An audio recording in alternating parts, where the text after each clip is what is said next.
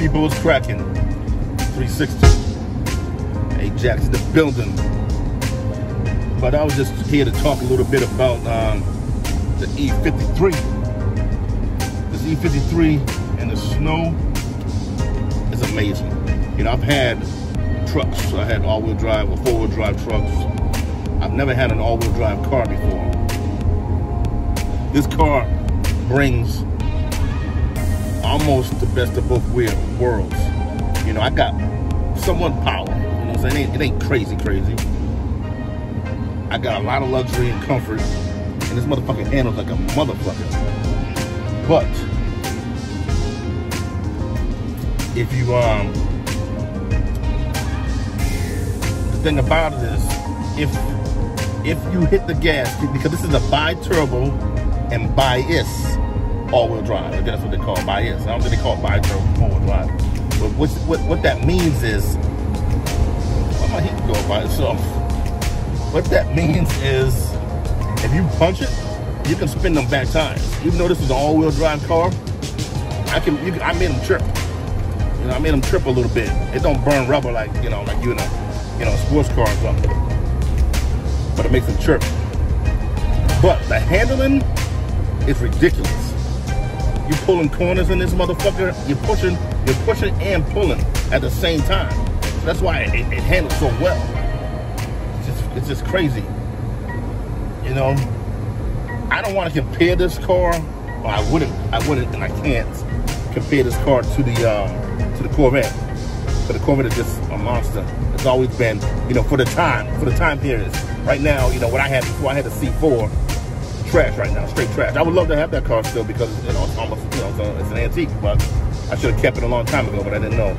But um, at the time, back in the '80s, that car was fucking hot.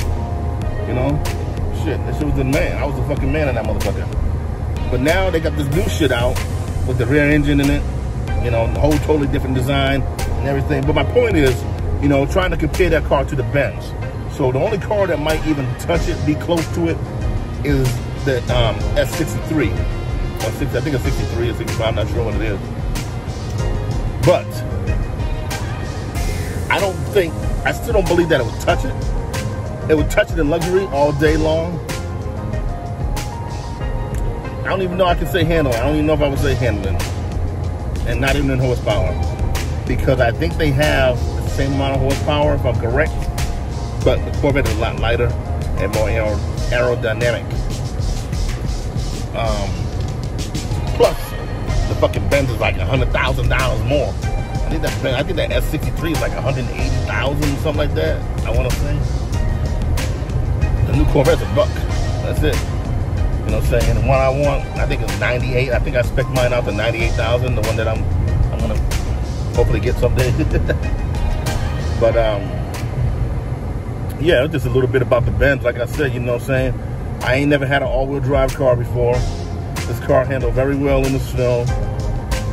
It's, it's, fucking amazing on gas. You know, the gas is good. I mean, unless I put it in sports mode and I fucking hammer it, if I'm on the gas all day long, just, just, just tapping the gas, then obviously, you know, it's gonna burn fucking fuel.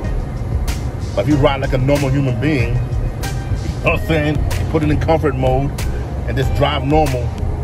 Shit, I think, what was I getting? Is it on the board? It's not up there right now. But I was getting, let's see if I can find it. I was getting uh, 20 something miles to the gallon or some shit. Oh, I can't change this while I'm driving?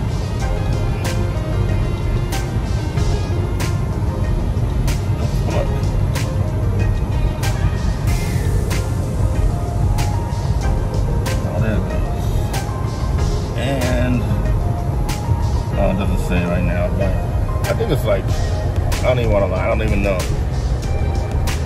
I forget what it was. But I can't, I don't know, I don't, I don't know what it was. It was like 28 miles a gallon or some shit, it was something crazy. You know, right now it just says average from start. I guess off when I started the car, it says average from start 15.2.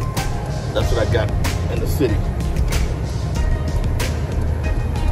And we'll see what happens when I get on the highway. I left my freaking mount in my other car. should have grabbed that shit. So I'm holding this. I figured I wasn't going nowhere or doing nothing this weekend, so you know, and I got different houses or different places in different in two different states. So you know, I got cars in one state, I got a car in another state. But anyways, I um like I said, I left my mount in the other car, but that's fine. I don't, oh no, I was saying that I'm not going anywhere this weekend. That's why um that's why I didn't need my mount. That's why I left my mount. But as I was driving, I said, oh, let me make a video. You know what I'm saying? So this is where we at. Holding them, holding the phone, because I don't even have my GoPro, and that's at my house. Um, usually I have that in my bag with me, but I left it. But I'm just trying. I'm just, I'm just babbling on right now because I'm trying to wait for my car to level out, and then I can get an average speed for you. I'm an average miles per gallon for you guys. Before we call it a day. But I'm pulling a hill, so you know, obviously you pull a hill, your miles per gallon is a lot less. I'm getting 10, 10 miles per gallon right now. 10 miles to the gallon. To the gallon.